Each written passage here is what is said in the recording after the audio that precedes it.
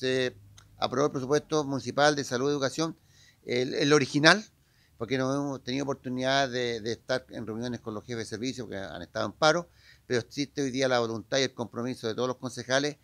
a partir de enero ir estudiando el, presupuesto para ver las modificaciones presupuestarias que se van a hacer para este plan social, ¿no es cierto?, 2020 que instaló el alcalde Mario Mesa. Está en nuestro compromiso, creemos y estamos convencidos que la ciudad lo necesita. Hay, temas que están instalados hoy día en el presupuesto, eh, algunas fiestas, por ejemplo, algunos, eh, ¿no es cierto?, que, están hoy día, bien digo, instalados ahí, pero vamos a hacer las modificaciones presupuestarias para instalarlo, colocarlo en un tema más social, que haya en beneficio directo, sobre todo en el empleo de nuestros vecinos,